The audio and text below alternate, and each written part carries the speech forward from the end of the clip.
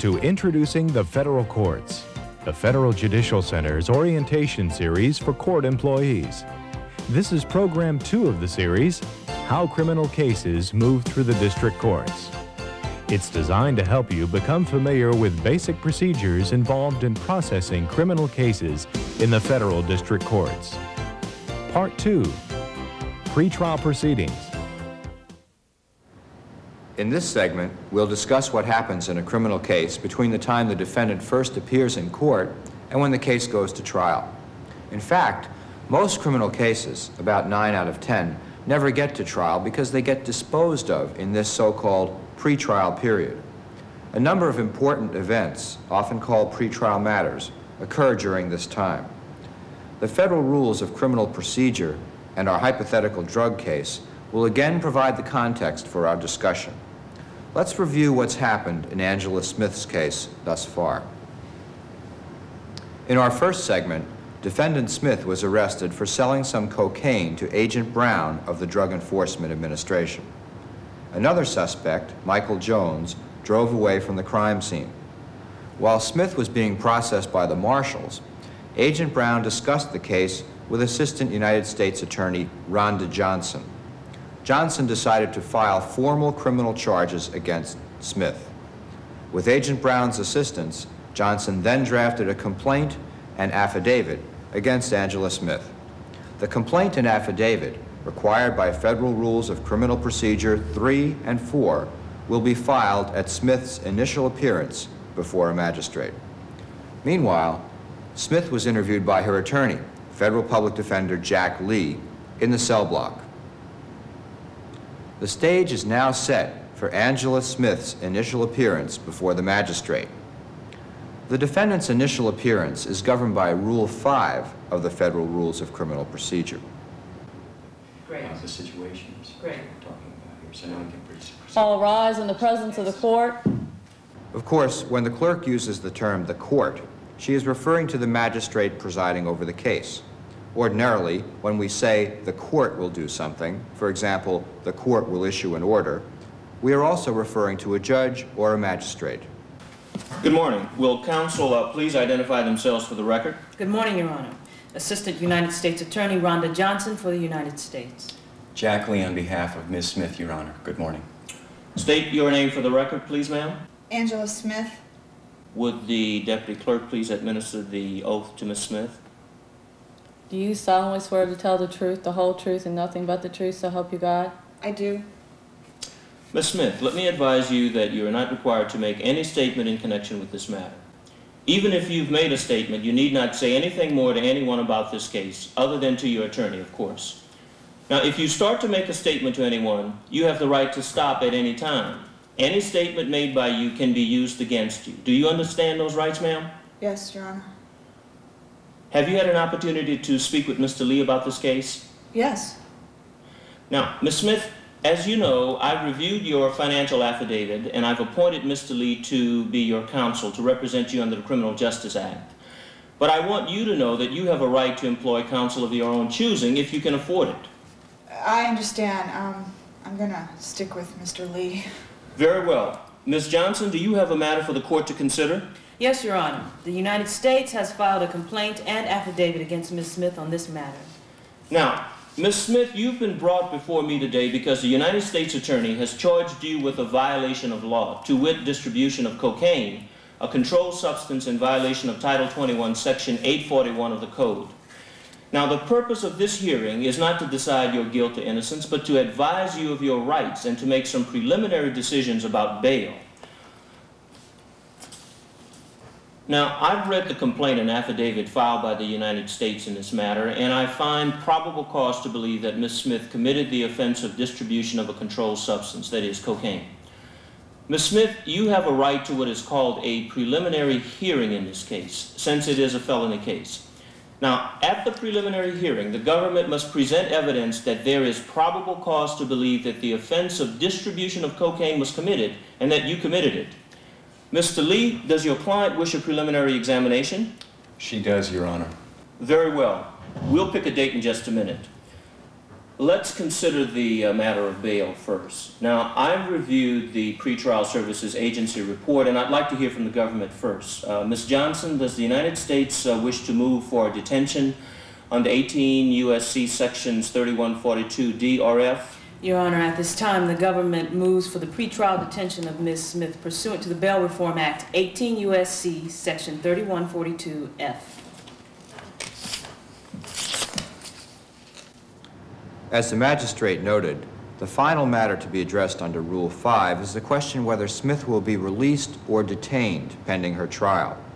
In complying with this portion of Rule 5, the magistrate must apply the provisions of the Bail Reform Act of 1984, contained in Title 18 of the U.S. Code. The Bail Reform Act requires that every accused person be released without posting bail or meeting special conditions unless the judicial officer finds that the defendant is likely to flee, endanger the safety of any other person, or endanger the community. A judicial officer can also release the defendant subject to one or more conditions designed to assure the defendant's appearance at trial, the safety of others, and the safety of the community. For example, a magistrate may order the defendant to comply with the following conditions, among others, if released pre-trial. The defendant may be ordered to remain in the custody of another person, obey restrictions on travel, personal associations, or residence, seek or maintain employment or enroll in an educational program, avoid contact with alleged victims of the crime and potential government witnesses, or to post bail to be forfeited upon failure to appear in court as required. With respect to posting bail, the Bail Reform Act does not allow a judicial officer to set a defendant's bond so high that the defendant cannot afford to post it. If that occurred, the defendant would be unable to post bond for financial reasons and would have to remain in jail pre-trial. To prevent this, the Act states that the court may not impose a financial condition that results in the pretrial incarceration of the defendant. A defendant who is released pre-trial must comply with all the conditions of release imposed by the court or be prepared to face serious consequences. Sir, I'm ordering your release pre-trial subject to the conditions I've just gone over with you. Let me further advise you that if you do not appear in this court as required, you will be committing a separate crime for which you may also be sentenced to a period of imprisonment. Yes, sir. And if you violate any condition of your release, a warrant for your arrest may be issued and you may be jailed until your trial. And you may also be prosecuted for contempt of court. Now be advised that if you commit a crime while released prior to your trial, that you... When a defendant is released before trial on conditions, the court executes a bond form and gives a copy to the defendant. You have a copy of such a form in your written materials. If you take a look at it, you'll notice that the form sets forth all pretrial release conditions imposed on the defendant. And on the back of the form, the consequences of not complying with the conditions of release are also listed for the defendant to read. If the case involves an arrestee who is charged with a serious felony, the magistrate may hold a hearing called a detention hearing. Detention hearings are held in cases involving defendants who are charged with crimes of violence, or have a serious record of prior convictions, or pose a serious risk of flight or obstructing justice, or, like defendant Smith, face a maximum term of imprisonment of 10 years or more in a drug case. The purpose of the detention hearing is to decide whether any of the pretrial release conditions we've discussed is reasonably likely to ensure that the defendant will not flee instead of reporting to court, and to ensure the defendant won't harm others while out on bond. If, after holding the hearing, the magistrate finds that no condition or combination of conditions will reasonably assure the appearance of the person as required and the safety of any other person and the community, the magistrate can order the defendant detained without bail pending trial. In other words, the defendant may be detained before trial on three separate grounds. First, if the risk of the defendant's flight is too great, that is, when the magistrate finds that no condition or combination of conditions will reasonably assure the defendant's appearance in court. Second, if the defendant's release pretrial will pose too great a risk of danger to another person. That is, when the magistrate finds that no condition or combination of conditions will reasonably assure the safety of another person. And third, when the magistrate finds that no condition or combination of conditions will reasonably assure the safety of the community. Note, however, that the government bears a higher burden of proof when it seeks detention on grounds that no condition will reasonably assure the safety of other persons or the community. Such a finding really requires the magistrate to predict the defendant's future behavior. To predict, in other words, that the defendant's behavior may pose a danger to the community if he or she is released. Thus, the magistrate must be convinced by clear and convincing evidence, a rather heavy burden of proof, that the defendant's release will pose such a danger. Let's see what happens in Angela Smith's case. Very well, Mr. Lee. Your Honor, we would ask for a continuance to allow us to prepare for the hearing. Now, does the government take any position on the defendant's request for a continuance of the detention hearing? No, Your Honor. All right then. Um, under statute, the detention hearing cannot be continued for more than five days without a showing of good cause. So I will set the hearing date for five days from now, if you have no objection, Mr. Lee. Very well. Now, Ms. Smith, I realize that you have no uh, prior record of convictions, and looking at your pre-service, pretrial services report, I also see that you have very strong ties to the community. But this court must detain you under the Bail Reform Act at least until the date of your detention hearing. And as Mr. Lee can tell you, the offense that you've been charged with carries a maximum sentence of 40 years upon conviction. I've already discussed that with Ms. Smith, Your Honor. That means that there is a statutory presumption that the court must apply at your detention hearing, subject to rebuttal by the defense. I must presume that no condition or combination of conditions will reasonably assure your appearance in court and the safety of the community, which of course is a reasonable presumption to make in a serious drug case like this. That's if I also find, of course, that there's probable cause to believe that you committed this offense. At the detention hearing, the government will call one of the agents who worked on the case against Smith to testify that she distributed 540 grams of cocaine. Smith will then have a chance, through Attorney Lee, to cross-examine the agent and any other government witnesses at the hearing. She also has a right to testify and to present witnesses or evidence on her behalf.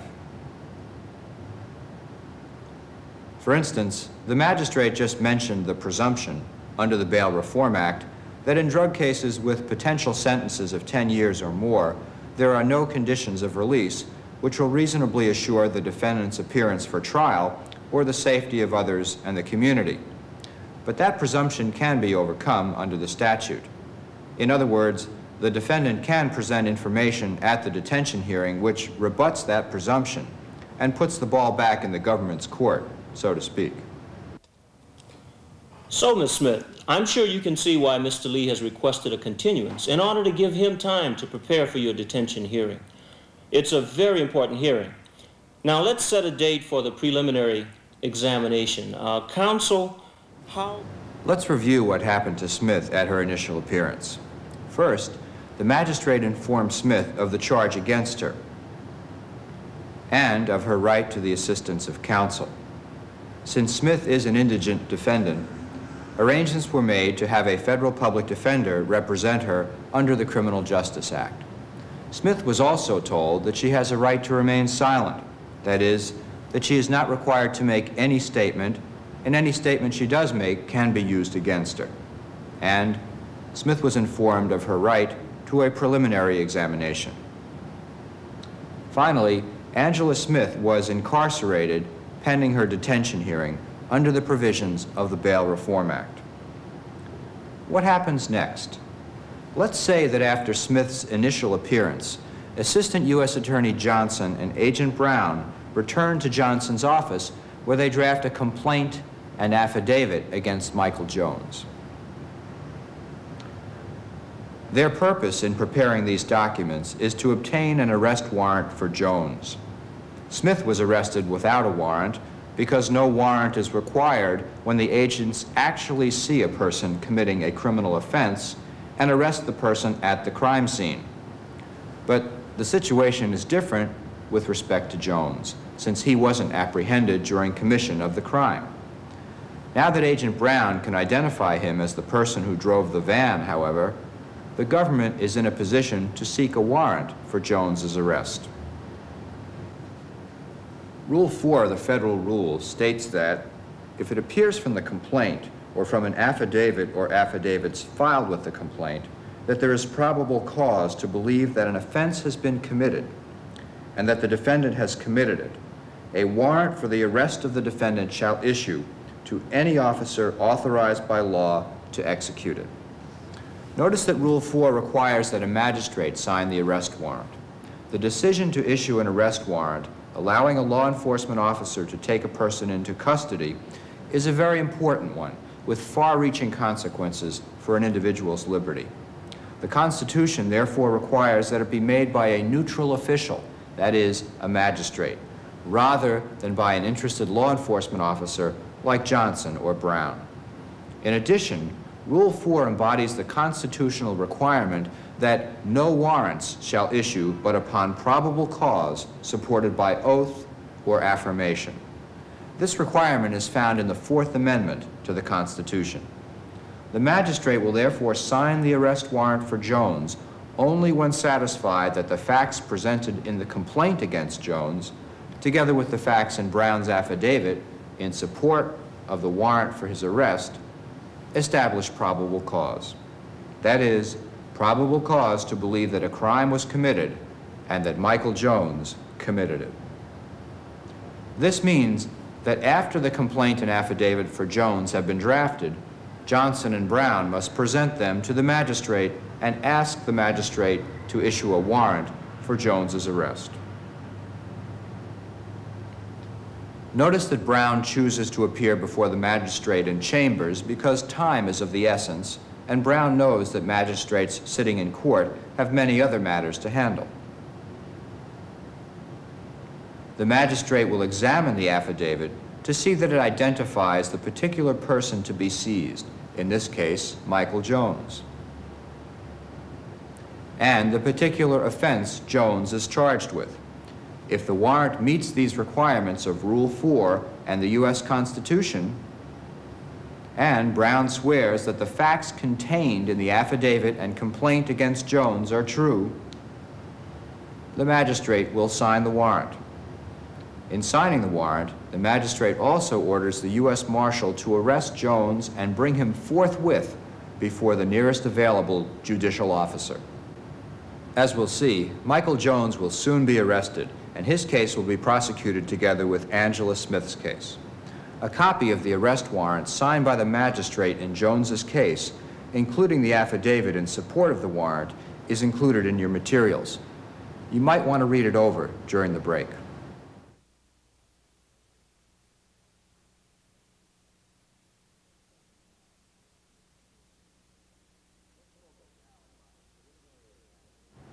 Let's focus now upon the preliminary examination mentioned by the magistrate. The preliminary examination takes the form of a hearing at which witnesses give evidence by testifying. It is required by Rule 5.1 of the Federal Rules of Criminal Procedure. The defendant is entitled to a preliminary examination when charged with a felony offense which will be tried by a judge of the district court. Federal Criminal Rule 5.1 requires that a preliminary examination be held within 10 days of the initial appearance if the defendant is detained, and within 20 days of the initial appearance if the defendant is released on bond. The purpose of the preliminary examination is to determine whether there is justification for holding the defendant while he or she is in custody or on bail for further court proceedings. The court will continue to hold the defendant if the government proves there is probable cause to believe that a federal crime has been committed and that the defendant did it. Rule 5.1 states that if the government's evidence at the preliminary hearing does not establish probable cause to believe a crime has been committed and that the defendant committed it, the complaint must be dismissed. In that event, the defendant must also be released. That's because our Constitution requires that when a person loses his or her liberty following an arrest, there must be a prompt judicial determination that there is probable cause to believe the person has committed an offense. As a practical matter, preliminary examinations are not held very often. This is because of another player in the process, the grand jury. The grand jury usually decides the probable cause issue before the defendant's preliminary examination is held. The basic purpose of the grand jury is to decide whether there is probable cause to require a defendant to stand trial on the pending charges. If the grand jury decides there is probable cause, it returns an indictment against the defendant. When the grand jury does this prior to the scheduled preliminary hearing date, there is no longer any need to hold the examination, since a finding of probable cause has already been made. The case then proceeds directly to arraignment. In our hypothetical case, we'll say that the magistrate found probable cause at Smith's preliminary examination. And for practical purposes, Smith's preliminary examination and detention hearing were combined in one court hearing. Smith, therefore, remains detained pre-trial. Let's also say that right after Smith's preliminary examination and detention hearing are held, Jones is arrested in the apartment he shares with his roommate, Lawrence Green. Green is not present when Jones is arrested, but he hears about the arrest later from a friend. At the time of the arrest, DEA agents seized two kilograms of cocaine from the apartment, about 10 feet from where Jones was standing. The cocaine had been placed in a large metal cookie tin. However, since the lid was not fully on the tin, one of the agents saw the cocaine while making the arrest. Following his arrest, Jones appeared before a magistrate for an initial appearance similar to Smith's. Jones is represented by attorney Christine Harrison, a former federal public defender now in private practice. At the initial hearing, Jones requests a preliminary examination. But remember, we said that a defendant is not entitled to a preliminary examination if the grand jury returns an indictment before the examination is held. Let's assume that shortly after Jones's arrest, the government presents its evidence against both Smith and Jones to the grand jury. In other words, the government presents its evidence against both defendants to the grand jury at the same time which is easy to do since the same agents are involved in both cases. The grand jury then returns indictments against both Smith and Jones prior to the date set by the magistrate for Jones's preliminary examination. Since the grand jury has already found probable cause in Jones's case, he is not entitled to a preliminary examination. At this point, you may be asking yourself, what exactly is a grand jury? Why is it required? What is an indictment? And how does the grand jury decide whether or not to return an indictment? These are important questions. Rules 6 and 7 of the Federal Rules of Criminal Procedure govern indictments and proceedings before the grand jury, and we'll discuss them in a moment. But first, you should know that the Fifth Amendment to the Constitution states that no person shall be held to answer for a capital or otherwise infamous crime unless on a presentment or indictment of a grand jury. Rule 7 embodies this constitutional guarantee in the federal system by requiring that any offense carrying a potential penalty in excess of one year be prosecuted by indictment. An offense carrying a potential penalty of more than one year in prison is called a felony. Offenses punishable by a year or less in prison are called misdemeanors an indictment is not required in misdemeanor cases. In misdemeanor cases, the prosecutor ordinarily files an information. An information is a written statement of the essential facts of the charged offense. Unlike an indictment, which must be signed by both the prosecuting attorney and the foreperson of the grand jury, an information is signed only by the prosecutor. A grand jury is a group of citizens whose duty is to determine whether there is probable cause to believe that a defendant has committed a crime and should be brought to trial. The Constitution calls for a grand jury in order to provide protection from hasty, misguided, or oppressive prosecutions. In order to fulfill this function, the Constitution requires a grand jury that is independent of the prosecutor and the court. Thus, while it performs its functions within the judicial branch of the government, the grand jury has a great deal of independence. Nevertheless, as a practical matter, it is the United States Attorney who gathers the evidence for presentation to the grand jury, calls and examines witnesses before it, and explains the law to it, and asks it to return an indictment. Since it is an independent body, however, the grand jury need not grant the prosecutor's request. It may return a no true bill instead of an indictment. In that event, the complaint is dismissed. Rule 6 requires that grand juries be assembled by the court whenever required by the public interest. The clerk's office is responsible for summoning or calling citizens to serve as grand jurors. Congress has set out specific requirements for their selection to assure that the process is random. That is, to ensure that everyone in the district has an equal chance to be selected. Grand juries serve until discharged by the court, but ordinarily cannot be made to serve for more than 18 months. The grand jury may consist of between 16 and 23 members. The court appoints one of the grand jurors to be foreperson. The foreperson is responsible for handling many administrative matters relating to the grand jury's work. The grand jury may return an indictment charging an individual with a crime if at least 12 of its members vote to do so. Traditionally, grand jury proceedings have been conducted secretly. Rule 6 establishes strict rules governing the disclosure of matters which occur before the grand jury. When the grand jury accuses an individual of committing a crime, it does so by issuing an indictment. An indictment is also called a true bill. A copy of the indictment returned by the grand jury in the Smith and Jones case is included in your written materials. An indictment is a formal written document charging one or more persons with a crime. Rule 7 requires that the indictment shall be a plain, concise, and definite written statement of the essential facts constituting the offense charged.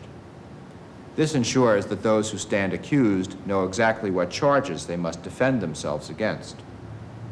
An indictment may contain allegations that the defendant has committed more than one crime. Each allegation must be listed separately, however. The separate allegations are referred to as separate counts, and each count of the indictment must specify the statute which the defendants are accused of violating.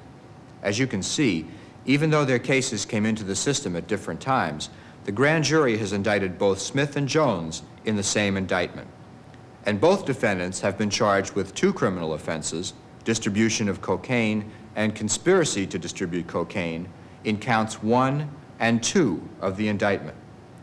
This is because Rule 8A of the Rules of Criminal Procedure allows two or more offenses to be charged in the same indictment as long as they are of similar character, are based on the same act, or are part of a common scheme or plan. And Rule 8B allows two or more defendants to be charged in the same indictment if they are alleged to have participated in the same act or series of acts. Since both Smith and Jones are alleged to have participated in the sale of cocaine to Agent Brown, they are joined in the same indictment as co-defendants.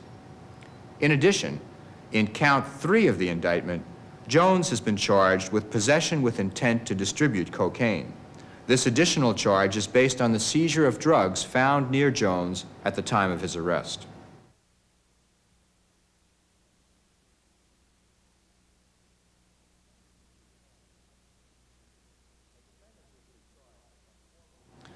A defendant who has been charged must formally enter a response or plea to the charge. This is done at arraignment. Rule 10 states that arraignment shall be conducted in open court and shall consist of reading the indictment or information to the defendant or stating to the defendant the substance of the charge and calling on the defendant to plead thereto. The defendant shall be given a copy of the indictment before being called upon to plead. At the arraignment, the clerk will first place the defendants under oath. The judge will then ask the defendants their names and ages. Then, the court will ask the defendants a few questions bearing on their ability to understand the proceedings they are involved in. Now, Mr. Jones, are you now or have you recently been under the care of a physician or a psychiatrist? No, sir. Have you ever been hospitalized or treated anywhere for any form of narcotics addiction? No. Are you presently suffering from any physical problems? No, sir. I'm doing all, I'm doing all right. All right. And we've already covered Miss Smith. Uh, Mr. Jones, have you received a copy of the indictment? Yes, sir. Have you had time to consult with your attorney? What do you mean? I'm asking whether you've spoken with Miss Harrison about the case. Uh, yes, sir. I have. Counsel, would Mr. Jones like the indictment read to him, or does he wish to waive a formal reading of the indictment? Mr. Jones will waive a formal reading of the indictment, Your Honor. If Michael Jones wanted the charges read to him, the deputy clerk would read them aloud to Jones in the courtroom. But, like most defendants, Jones has already discussed the case with his attorney and has a good idea what offenses he has been indicted for. So, he waives a formal reading of the indictment.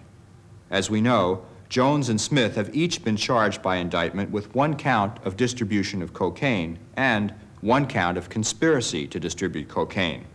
Jones has also been charged with one count of possession with intent to distribute cocaine in the third count of the indictment. Very well. How do you wish to plead to the charges against you, Mr. Jones? At this time, Mr. Jones wishes, wishes to enter a plea of not guilty to each count of the indictment.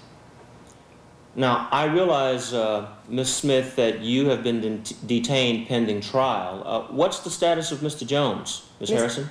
Mr. Jones is also detained without bond, Your Honor. Very well. That status will continue. Now, if either counsel wishes to file a bond review motion, the court will consider it. Now, let's see about setting a date for the uh, hearing on the motions, please. At this point, the magistrate will usually set dates for the filing of motions and the pretrial conference, and may even set a trial date. As you can see, if the defendant enters a plea of not guilty, the arraignment is a rather short proceeding. In misdemeanor cases, the arraignment and initial appearance are usually held at the same time. This is because misdemeanors can be prosecuted without a grand jury indictment. In felony cases, sometimes the grand jury returns an indictment against a person before that person has been arrested.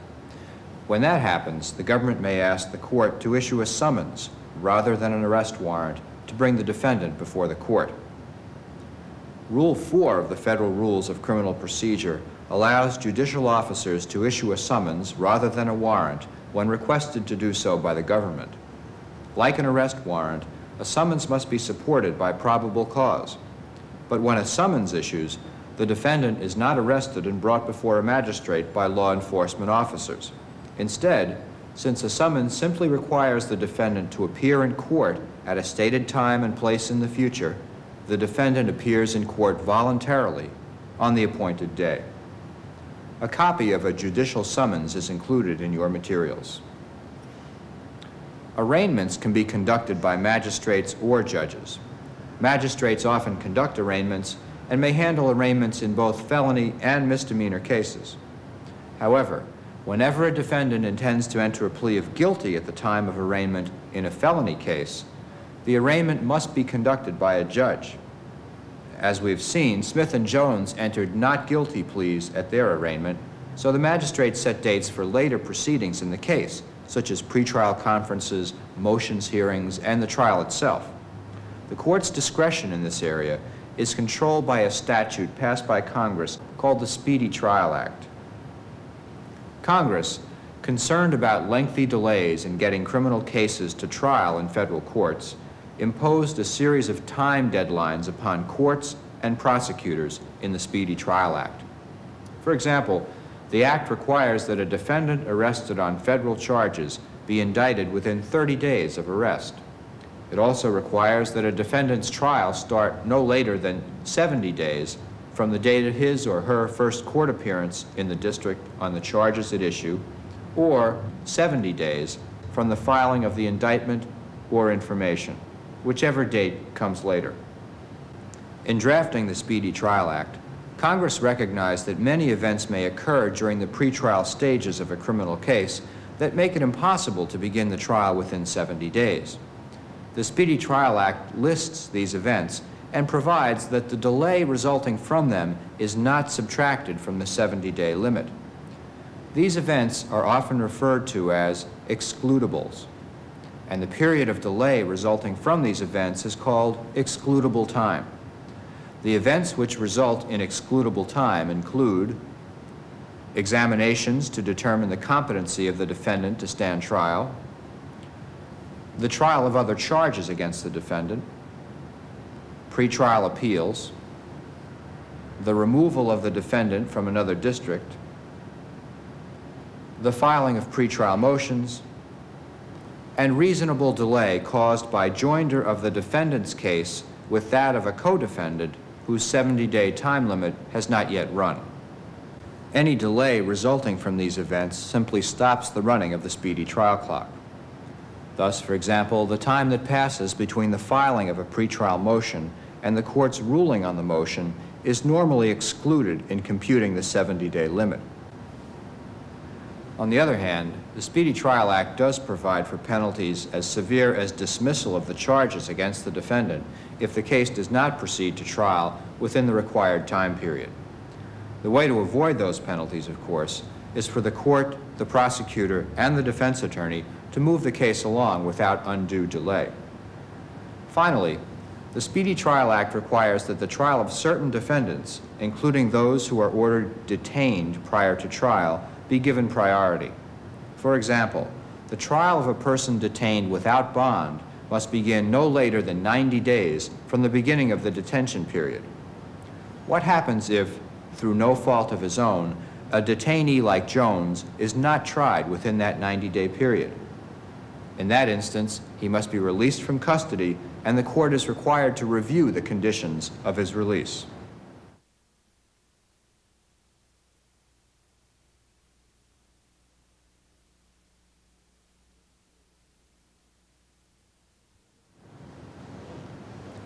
During the period between arraignment and the next scheduled court date, the defense attorney and the prosecutor will engage in what is called discovery.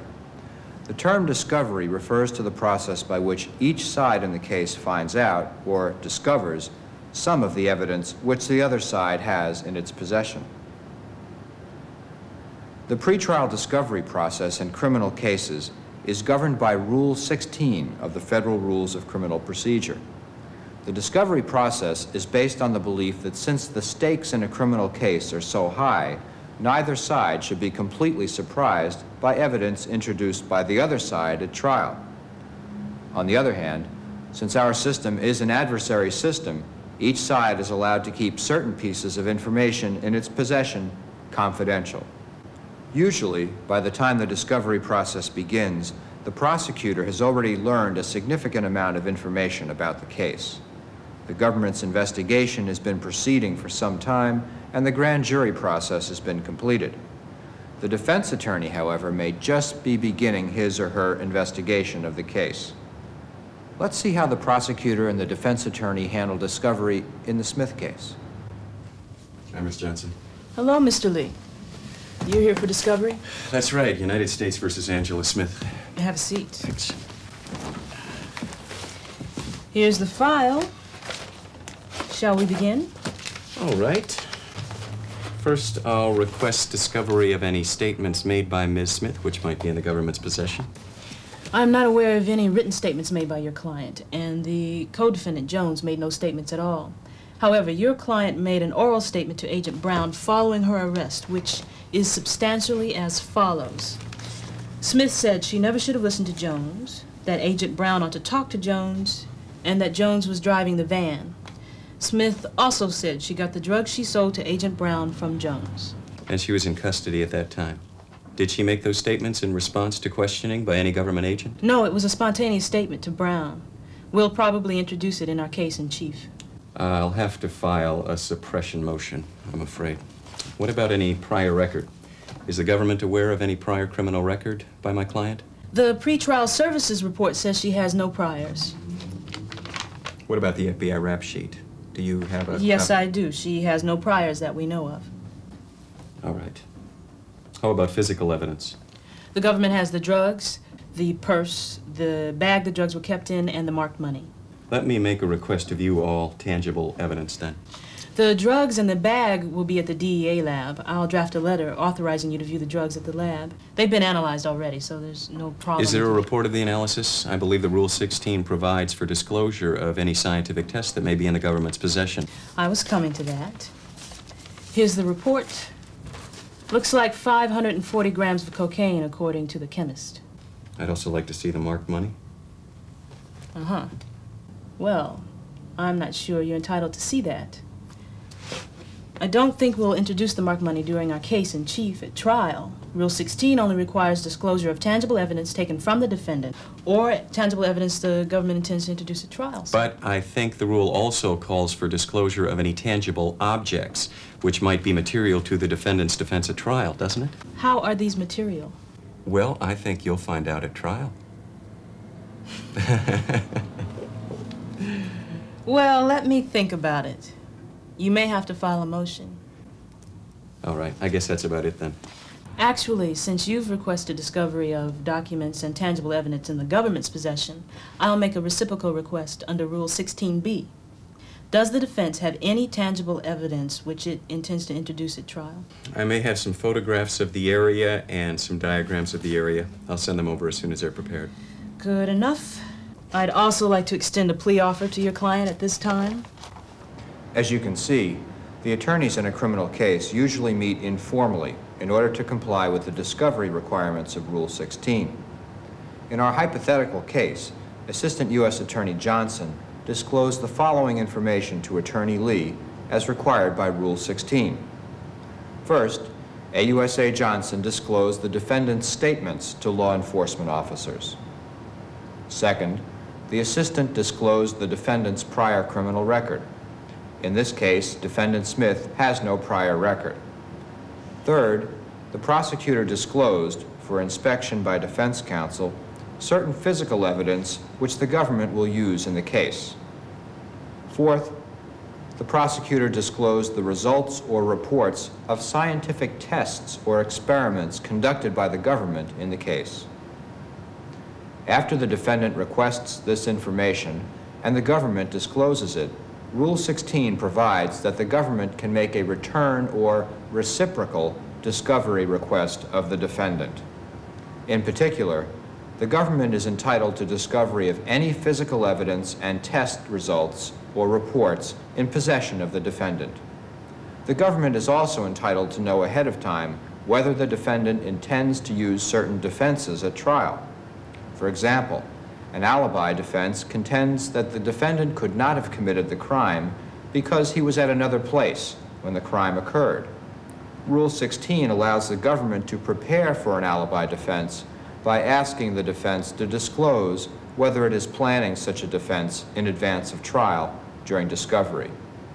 Similarly, if the defense intends to rely upon an insanity defense at trial, it must notify the government of this during discovery. The defendant is not ordinarily required to disclose the nature of the defense prior to trial, however. You are also likely to hear the term Brady material come up when the court and counsel are discussing pretrial discovery. One last question. Are you aware of any Brady material? Nothing comes to mind, but let me look through my file. Johnson and Lee are referring to a Supreme Court case decided in 1963 called Brady versus Maryland. In that case, the court decided that the Constitution requires the government to disclose to the defendant, upon request, any evidence in its possession that is material and favorable to the accused. Such favorable evidence is often referred to as Brady material, and it includes evidence favorable to the defendant on issues of either punishment or guilt. For example, evidence tending to show that someone other than the defendant committed the offense. Perhaps the presence of another person's fingerprint on the murder weapon would be favorable to the defendant on the issue of guilt. So, it must be disclosed by the government. And evidence that an accomplice had confessed to being the actual shooter in a murder case would be favorable to the defendant on the issue of punishment, even if the confession named the defendant as an accessory to the crime. So, under the Brady Doctrine, evidence favorable to the defendant on the issues of guilt or punishment must be revealed to the defense. And the disclosure of favorable evidence must be timely, that is, soon enough for the defense to make use of the information at trial. The prosecutor's duty to disclose Brady material to the defense is required by the Constitution. In other words, it is a duty which exists independently of the discovery requirements of Rule 16. But the burden is on the defense to request Brady material from the government. For that reason, the defense attorney will ordinarily make a Brady request during a discovery conference with the prosecutor. That's what Attorney Lee has just done. I don't see anything that would tend to exculpate your client. All right, if you should learn of anything that might. Sure. Uh, I'll, if I learn of anything favorable to your client on the issues of guilt or punishment, I'll let you know right away. Great. Most discovery issues are resolved informally by the attorneys involved. But if the prosecutor and the defense attorney disagree about whether an item is discoverable, a judge or magistrate must resolve the issue. Thus, in our hypothetical case, Attorney Lee may decide to file a motion with the court asking it to order the government to let him view the marked DEA money prior to trial. The government might then file a response opposing that request. This takes us to the issue of pretrial motions. A motion is a request by either the government or the defense for a ruling by the court on a particular matter. Federal Rule of Criminal Procedure 47 requires that pretrial motions ordinarily be in writing. Rule 47 also requires that each motion shall state the grounds upon which it is made and shall set forth the relief or order sought. Federal Rule of Criminal Procedure 12 discusses the types of motions which may be filed before trial. It permits the filing of motions relating to the discovery process, defects in the indictment or prosecution of a case, the manner in which the trial will be conducted, and the suppression of evidence. Thus, Attorney Lee's discovery motion asking the court to order the government to let him view the marked DEA money seized from Angela Smith prior to her trial would be filed under Rule 12. So would a motion filed by Jones contending that there was a constitutional defect in the grand jury proceedings or that the indictment failed to charge him with a criminal offense. Smith might file a motion under Rule 12 requesting that her trial be conducted separately from Jones's trial. And both defendants may file motions under Rule 12 seeking to prevent the government from using certain evidence against them at trial. Thus, Jones may contend that evidence against him was obtained as the result of an illegal search of his apartment, or Smith may file a motion alleging that the oral statement the government intends to use against her was obtained unlawfully. These types of motions are called suppression motions. They seek to suppress or exclude evidence that the defendant claims the government has obtained illegally. Some motions filed pursuant to Rule 12 may be resolved without the presentation of evidence by either side. The motion may simply require the court to rule on a matter of law or interpret a statute. The court can do this without hearing the testimony of witnesses. On the other hand, many Rule 12 motions involve factual disputes that must be resolved before the law can properly be applied. Since these motions involve both questions of fact and questions of law, it is necessary for the judge or magistrate to hold an evidentiary hearing before deciding them. At the hearing, each side is entitled to present evidence. The evidence may take the form of exhibits, affidavits, or live testimony. After hearing the evidence, the court will be in a position to decide what the facts are. It will then apply the law to the facts. Of course, the court cannot know whether or not evidentiary hearings on pretrial motions will be necessary in a given case until the motions themselves are filed.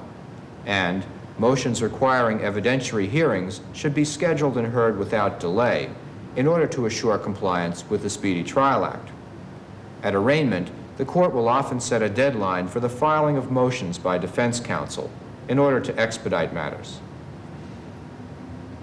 Rule 17.1 allows the court to schedule one or more pretrial conferences to consider motions and other issues that the parties believe will result in a fair and speedy trial. In some districts, pretrial conferences are called status hearings. The last pretrial conference in the case usually occurs a week or two before the start of the trial. At this hearing, any remaining pretrial motions will be decided. The court and counsel will then discuss matters related to the conduct of the trial itself, such as how the jury will be selected and instructed. Finally, I would urge the government to give defense counsel any Jencks Act statements it is aware of before the start of the trial. I've already provided defense counsel with copies of all the Jencks material I'm aware of, Your Honor, with the exception of the grand jury testimony of some of our witnesses against defendant Jones, which the government will produce after those witnesses have testified for the government at trial. Ms. Harrison? I have received certain Jencks Act statements from Ms. Johnson. But with respect to the testimony of the two witnesses who testified for the government in the grand jury, which is rather lengthy and which I have not yet received, The Jencks Act is a statute passed by Congress. It requires the prosecutor to produce, in other words, give to defense counsel, the prior statements or reports of each witness who testifies for the government in a criminal prosecution. The Jencks Act does not require the government to give the defense this material until after the prosecutor has finished questioning the witness on direct examination. Under the Act, only those statements and reports which relate to the direct testimony of the witness must be produced. The defense frequently uses statements given to it under the Jencks Act in cross-examining government witnesses. Ms. Johnson, as you know, when defense counsel is given Jencks material at the conclusion of the government's direct examination of a witness at trial, he or she must be given an opportunity to review it before cross-examining the witness. This can take time and disrupt the orderly presentation of evidence at trial.